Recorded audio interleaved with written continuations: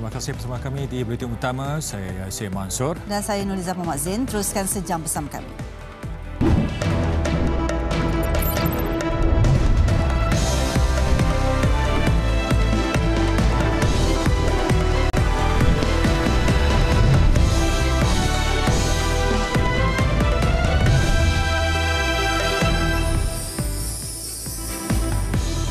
Perdana Menteri arah segerakan siasatan dakwaan salah laku ke atas Tommy Thomas. Lima pemimpin tertinggi AMNO bincang tarikh PRU 15.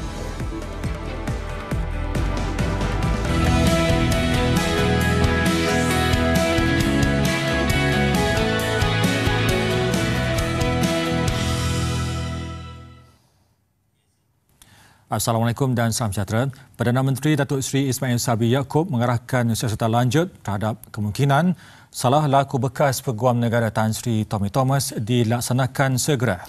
Beliau berkata pasukan petugas khas siasatan ke atas dakwaan dalam buku bertajuk My Story Justice in the Wilderness sudah membentangkan laporan siasatan dalam mesyuarat Jemaah Menteri hari ini.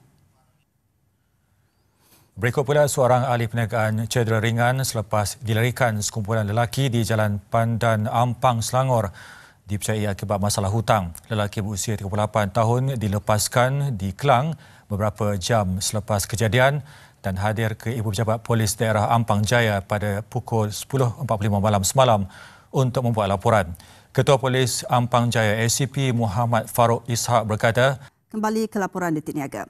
Keluaran dalam negara kasar KDNK Malaysia dijangka berkembang 5.1% tahun ini ke, ta- ke tahun pada 2022 didorong prestasi memberangsangkan indeks pelopor IP pada Julai lalu.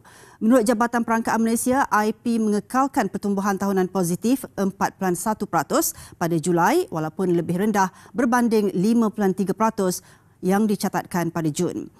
Laporan antarabangsa. Mahkamah Thailand memutuskan jawatan Perdana Menteri Prayut Chan Ocha perlu dikembalikan semula. Ia selepas mahkamah mendapati tempoh pengganya belum mencapai had 8 tahun kerana ia diputuskan bermula pada 6 April 2017. Liga Division kedua itu bakal melabuhkan tirainya malam ini dengan emosi bercampur baur memandangkan ia akan dimansuhkan Liga Bola Sepak Malaysia MFL selepas ini. Tinggal dua perlawanan lagi dan peminat bola sepak tempatan akan disajikan dengan penentuan kejuaraan di antara Johor Darul Takzim 2 dan Kelantan FC yang akan turun mentang lawan masing-masing tepat jam 9 malam ini. Sekian berita utama malam ini. Visual kemusnahan akibat taufan Ian di Sanibel Island, Florida, Amerika Syarikat menutup tirai berita utama malam ini. Dengan itu, salam hormat. Assalamualaikum dan selamat malam.